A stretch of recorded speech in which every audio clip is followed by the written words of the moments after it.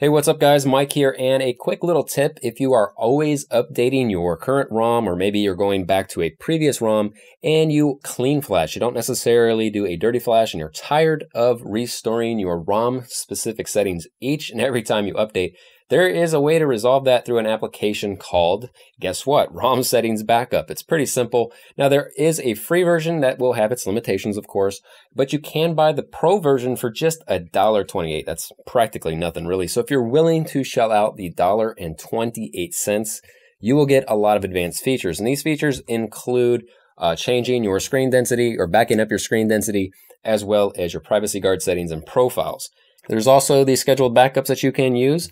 You can come in here and set a custom name if your ROM is not included in the list. Then you do have a time interval. You can do one day all the way to 14 days. And then you also have an auto delete process.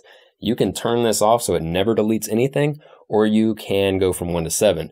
Basically, whatever you select will automatically delete the oldest backup. Now, on the actual main screens, you will see backup and restore. That's pretty much it. There's not too much fancy about this. It's purely to back up your ROM settings and restore them.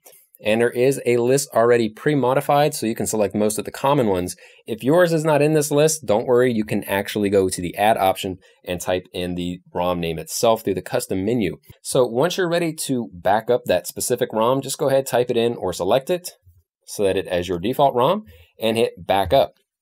Takes a couple seconds and all your settings are pretty much done. If you do want to restore a backup, just go in here to restore, select the backup from the little drop down list and hit restore. You can go into settings manager and you can select pretty specific stuff. So you can include what you want or don't want in each category. So you have your system information, you have your secure information and your global. You can also go into settings here and you will be able to control whether or not you want to delete previous backups or if you want to set a specific directory. So it's pretty cool. It's a really great application. The free version is good enough, but if you want to back up real specific stuff like your screen density, some profiles if you have them, and your privacy guard settings, if your ROM supports that feature, then you can definitely do that. And this is the best way to back up your settings and restore them within minutes.